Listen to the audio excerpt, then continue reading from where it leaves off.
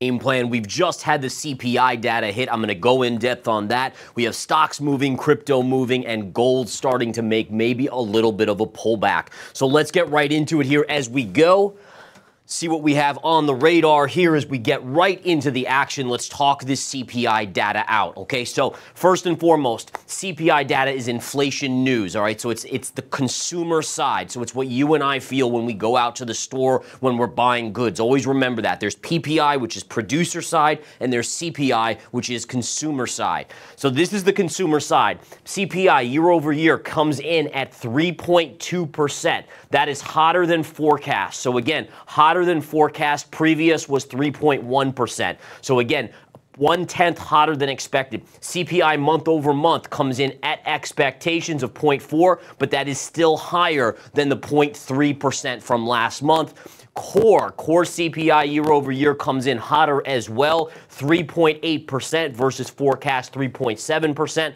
Last month was 3.9%. And core CPI month over month comes in hotter as well at 0.4% versus 0.3% forecast. Now, this is the kicker, guys.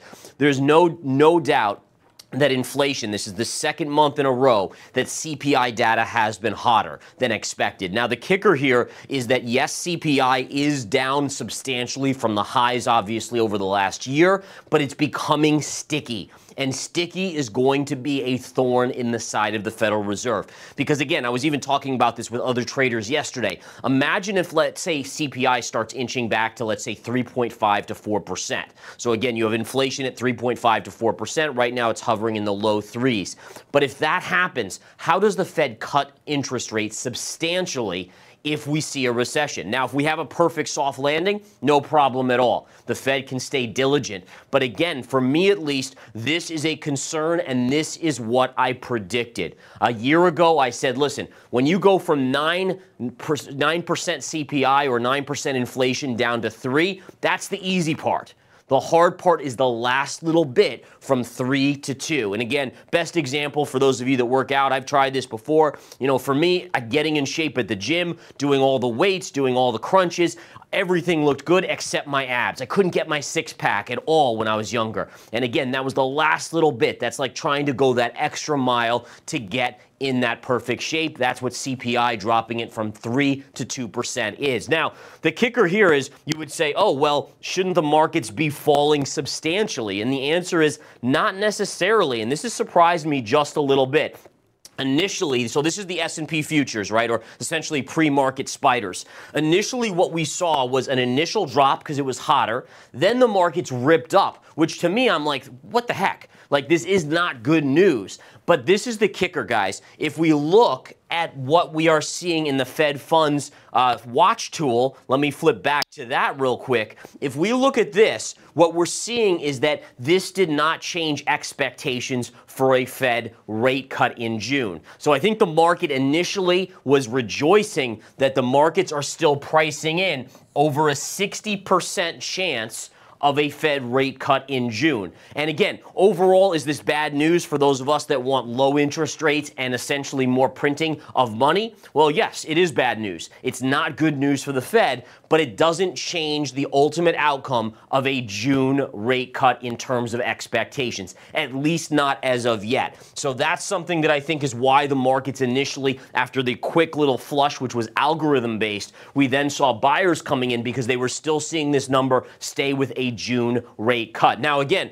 this is going to change expectations because, again, we can go out to obviously next March. This is March of 2025, and we're still at a 4, 4 to 4.25 interest rate. So again, if you look at where the 10 year is trading right now, it's basically in that 4%ish range. And that means that even into 2025, interest rates are likely not going to be any lower than that. So again, overall, I take this as a negative. I take this as bad news. If we flip back to this, we can start to see that the markets are starting to say, wait a minute, this is not the best, even though we're still net positive on the day. I'm curious to see where we end up. All right, back to a couple other things here on the headline front here as we flip back. Let's go back to our data points and scroll down. What we do have here, guys, is Oracle. So Oracle is one of the positives. In fact, yesterday after hours, we saw markets moving up, especially technology stocks, because Oracle Came out and beat earnings handily and is trading up about 13% pre market. We'll do a check on that. We'll look for trading levels in just a minute. But basically, they said that AI demand and cloud demand, those are the positives here. So again, that helped them beat on earnings, and the stock obviously is reacting to that. Now, we know that NVIDIA's been down two days in a row, so we'll see if that bucks the trend. NVIDIA is positive, but it seems like any sort of mention of AI gets those stocks kind of initiating to try to push back up. I'm just skeptical after that reversal engulfing candle that I taught yesterday on NVIDIA's chart. Can we actually see NVIDIA make a new high or is the top in? All right, couple other things here, guys. Uh, homeowners, this is an interesting headline that I wanted to pass along to you. I do my best to find these ones that maybe the big media outlets are not reporting to you, but I do think it kind of gives us insight into the consumer and the citizens of the world. Homeowners are increasingly tapping into the equity in their homes to keep their spending habits up home equity lines of credit and second lien mortgages are jumping. So, what this tells me, folks, is that during the pandemic, people had excess savings. They started to live life more lavishly. They would go out to eat more. They'd buy more things. They'd kind of live up to what they were saving. Well, the problem is, is that as we saw inflation rage higher, people started to say, wait a minute, this is tough to keep up paying this, and they started to spend all of the savings down. So savings went up during the pandemic. It's now gone negative, and we're seeing it come down dramatically. And they're saying essentially what, what's going on here is people are saying, listen, I don't want to change my spending habits yet. I still think the economy is going to be okay because the Fed tells us this, because the government tells us this, even though they're the ones printing money. They probably know better. But nonetheless, they're then saying, well, listen, I'll tap a home equity line of credit to keep this going, to keep my spending habits as they are until the economy gets better. My fear is that the economy is not going to get better, folks. I, I believe we are going towards that recession later this year. And again, there's many metrics. I've talked about U6 with you guys, U6 unemployment. I've talked about other metrics as well. There are lots of signals, including this one, that tells me the consumer is stretched. And again, the kicker is this, is that if we don't, if they're taking out additional loans and we see the economy crater, it means more defaults and more problems for the banks later on. And we know that the banks, based on the commercial real estate issues, are already having issues. All right, lastly, here, a couple things. Jamie Dimon, CEO of JP Morgan Chase, says the Fed may want to wait until after June. It's almost as if, and this headline was before the CPI number, almost as if he knew ahead of time that that CPI was going to be hot. But right now, as we said, markets are still pricing in a June cut. Lastly, ONON falls 13% on earnings. We'll take a look at that. It's about a $10 billion market cap company, so it's not too small. It's worth taking a look at.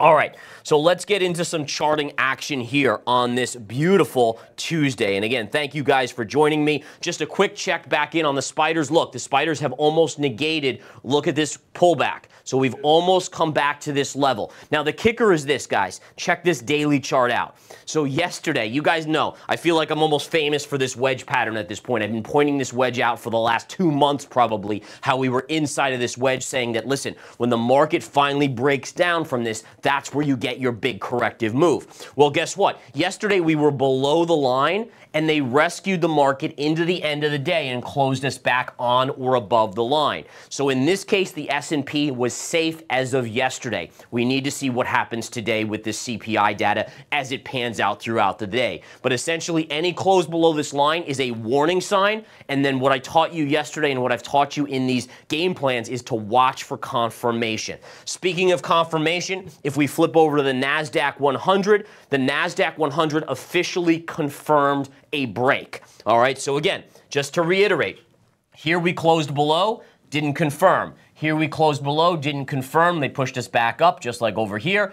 Uh, two days ago, or I should say on Friday, on Friday we closed below, and yesterday we had that secondary lower close below the low of the previous session, which again means this is a confirmed breakdown. Now let's talk about confirmed breakdowns. What does this mean? Well, essentially what it means is that you now have probabilities that have swayed towards the negative side for the NASDAQ 100. And also that goes with the vibe of what we've seen in the charts of the semis with the reversal SMH, uh, engulfing candle, NVIDIA, um, GE. We saw lots of these topping tails develop as of last Friday as well. So again, a confirmed move, it doesn't mean it's a guarantee Please understand that. It's all, everything I do is probabilities. I'm an odds maker, basically, in trading.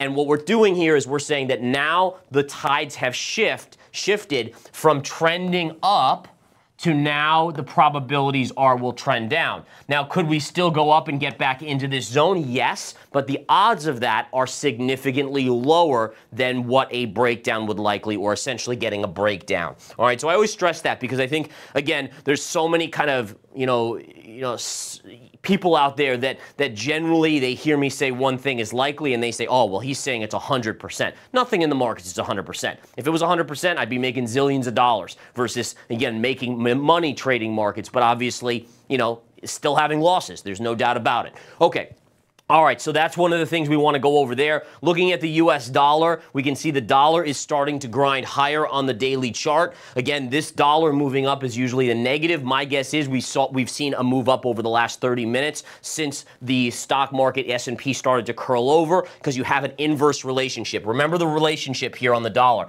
When the dollar goes up, markets generally pull back. So you see a green candle here, and we're seeing again pre-market as the markets are rolling over. And let's flip to the intraday chart and just confirm that here. Uh, yep, look at that. So just in the last couple candles, the dollar started to push up, which then coincides, if we flip back to the spiders 10 minute, with the pullback here in the S&P. So you see that inverse relationship at work. Next, let's take a look at the 10-year yield. Well, that's the 10-year yield as well. Uh, I might have been actually looking at the 10-year yield. It's still the same thing, though. Yields are pushing up a little bit. Here's the dollar again pushing up. Same sort of inverse correlation. So again, yields go up, markets go down. Uh, dollar goes up, markets go down. That correlation continues. All right, couple things to look at here. Let's take a look at Oracle. Oracle reports earnings yesterday after the bell. The stock surges. This morning at 4 in the morning, we had this crazy, I don't know who bought up here, but someone obviously, some shares exchanged hands at 4 a.m. Eastern time, and then it's come back in to basically be in alignment with where it was trading yesterday in the after hours. Uh, it is down ticking a little bit at 127.20. So where would a technical level be on this chart? Let's zoom out on the chart. I'm actually going to flip to the weekly here because I want to get a bigger picture. So the first thing I see when I look at this this chart, first thing I see is that you kind of were getting consolidation, right? We kind of had this bigger up move. Here's your flag pattern, right? So there you have your flag, and that was actually a little bit of bullish consolidation, and now we obviously see the stock trading up in this range at 127. The other thing to keep an eye on is very clearly we have a pivot top at 127, which makes sense why the stock is trading there, right? So again, pivot high right here, pivot high right here, connect those lines, and that's pretty much exactly where the stock is trading. Now, would I short it here? No way. No way. I don't like shorting at levels that are being seen pre-market. I want to find that when emotion takes over, let's say short covering at the open, if a stock continues to surge up and gets irrational, that's when I want to jump on board. And again, as a trader, as a short term investor, and day trader. That's how I live, right? I live on emotional reactions in stocks that create opportunities for either longs or shorts. So when people get too bullish one side and get too crazy, I start to say, okay, listen, this is getting a little out of control, and I go the opposite way. And when people get too fearful and they're panicking and they're throwing things up in the air, and I look at the company, I say, listen, let me use my logical brain to focus in. Is there value here? And the, if the answer is yes, once that panic subsides, you'll see a natural tendency for that stock or that crypto to come back up. So that's the kicker here of understanding kind of the game that I play on a daily basis with trading, both day trading and swing trading. Now, if you're a long investor, all you focus on is the long term, right? You're like, where is this going to be in 10, 20 years? That's fine. That's just not what I do as a trader. Okay, so again, let's just talk about Oracle here. If we zoom out on the charts, the first thing I'm seeing is that there's really no, I mean, once we get above 127 on this, there's really not any levels per se that would get my attention. But if we do this, this is kind of more my style where I look at the big time frame. I'm now on the monthly chart. And what I'm doing here is I'm taking the highs from the dot-com bubble right here I'm connecting them to this 2000 and high level. And what do I get? I get a 133 approximate resistance. So now today in my head, I say, okay, well, if it were to push up irrationally, let's say, into 133, there may be a shortable opportunity there. That may be a top in the stock in the near term. Now, again, long term, Who knows? And honestly, I don't care because frankly, I'm a shorter term trader. That's how I do my thing. All right, so anyways, that gives us a level to guide us to maybe resistance. Speaking of that longer term trend line, do take a look at the, the NASDAQ 100 here. Same trend line on the NASDAQ and look at what's going on. Here's your dot com bubble high connected to your 2022 high, and here we are right at that level. So do you guys see how you just saw that daily chart on the NASDAQ 100 break down and confirm? We just talked about that a couple minutes ago, right? Now we're looking at a bigger time frame, which now shows a major trend line up here, which also gives me additional confidence that the NASDAQ 100, let's say on a monthly chart, you're looking now at the next six to 12 months, this is likely going to be a confluence of a pullback scenario. And again, as a trader, one of the best things you can do is find multiple time frames that confirm the indicators that you're looking at. So you look at a, a monthly, a weekly, a daily, even a 10 minute or a 60 minute chart, and if you can find multiple factors like negative divergences on all those time frames, that's a very powerful signal that you're coming to some sort of reversal to the downside. And we do have that on the NASDAQ 100. All right. So let's continue on here, guys, as we go through. Uh, we'll take a look at ONON here, which again is on holdings. We can see it is trading down pretty sharply here. Looks like it traded around uh, 35 bucks. Now it's trading at 27 and three quarters. And if we flip to the daily chart, one of the things that I do here is I just start to say, okay, 27 and three quarters is right around this area. I don't see any sort of decent support here, but I do see a bottom pivot right here, right? So this low to this low right here. So that's going to be my zone to watch. Now, I'm not sure. I'll have to reevaluate this um, in real time today, but what I would say is in general, 26 to 25 looks to be a significant support level down here. And again, we have this level and this level, and obviously, if we get in that zone, that will, should be, and I say should because there's no guarantees, we know that, but that should be some sort of technical support. Okay. Couple other things here, guys. Uh, I know I'm running a little short on time, so you know what? Let's quickly take a quick 30 second break, center camera here, and we're gonna just quickly hear from iTrust Capital, who's freaking rock stars. What they're giving you guys in terms of crypto opportunities and IRAs is amazing. So here's a 30 second break.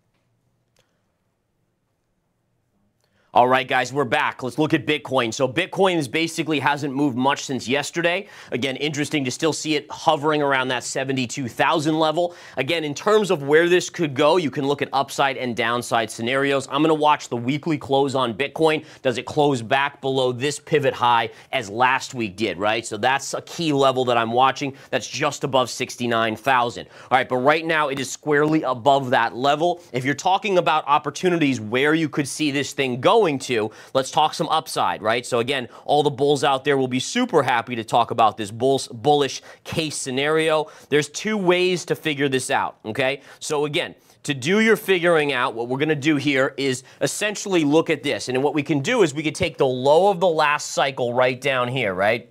So if we take the low of this last cycle, bear with me as I get my drawing tool back up there, it was right in this range, right around that you know, what was it, $3,000 level. So 3,000, the high of the bull cycle, the last bull cycle was 69,000. If you take that difference, right? So if we take that difference and we add it to the low of this bull cycle, it's about a $65,000, $66,000 addition. You essentially get $81,000 up here. That's your bull case in terms of what's called a measured move. Now, the other way to do it would also be taking this high here and connecting it to his. Now, generally, I like to have three pivot points to connect a trend line to because you get more of a firm line. Um, usually when you connect just two, you can be off a little bit. And when you map it out over like this, it becomes very kind of like, okay, is that is that really at that price or am I off by five or 10,000? But just by doing that, if you do the best you can, you essentially get approximately an $88,000 target. So the idea is 81, right, to 88 that would be significant resistance if it were to go there. Now, again, I still have resistance at around 75. That'll be an interesting level, and I'm still watching the daily close, but I'm just trying to give you guys a balanced view of where it could potentially go if risk on stays. Now, I'll tell you this if we do see a drop in the markets, let's say we're talking stock market here, let's say we get a 30, 40% uh, uh, drop in the NASDAQ 100, I would think that Bitcoin, in the very least, goes back to that 30 to 32,000 level, which was this previous breakout zone right in here. So it's still on the table. And again, a good trader looks at all sides of the coin, right? And then you pick your side based on probabilities. And again, that's what I've done as a trader for a long time. I know if the stock market drops, this is my downside first target. If the stock market just continues to rip, and let's say the NASDAQ 100 keeps breaking through, well, then you probably could head up maybe as high as 80 to 85, 89,000 dollars on Bitcoin. All right. And again, a lot of you guys talk about, oh, well, the, the ETFs are buying the spot ETFs and all this institution. Well, yeah, right now they are. But remember, that works both ways. So if you do get an equity, a stock market drop, what is going to happen? We're going to see a lot of players exiting and selling because they're going to get scared in the spot ETFs. A lot of people think everyone's a maxi. Not everyone's a maxi. A lot of these people getting into the spot ETFs are actually shorter term or they do get skittish very, very easily. So just remember that. Uh, quickly looking at a couple others, I just want to show this one, Avalanche. Avalanche is an interesting chart here.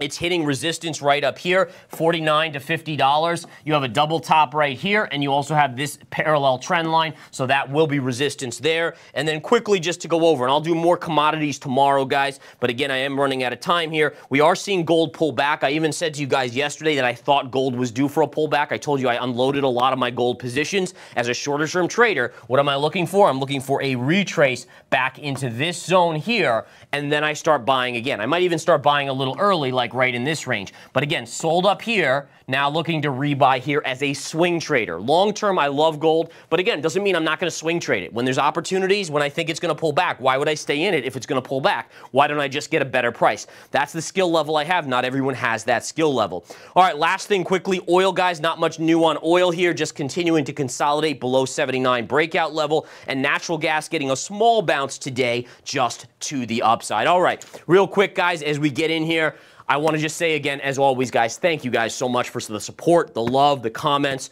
Uh, the comments every day warm my heart, so thank you so much. I appreciate you tuning in, and I love that I'm, I'm hearing you guys learning so much. So have a great rest of your day. I'll be back bright and early, 9 a.m. Eastern Time tomorrow. Take care.